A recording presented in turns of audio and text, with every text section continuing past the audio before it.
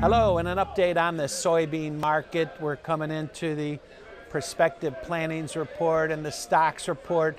Uh, the market uh, for Friday's planting report, 86.2 million is expected.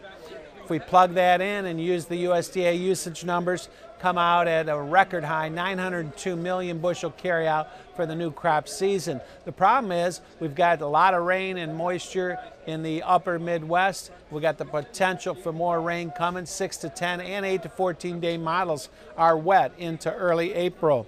If we push 2 million acres away from corn and into beans, that uh, ending stocks number swells up to a billion bushel. Other factor for the key factor for the market is that the March 1st stocks report expected to show stocks at uh, 619 million bushels above a year ago.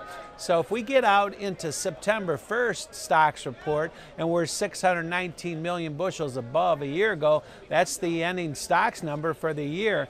And uh, if we end up 619 million above a year ago, ending stocks come in at 1.057 billion bushels for the old crop season.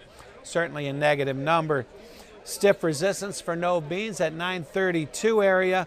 We'd use 914 and 905 as next targets. Thank you.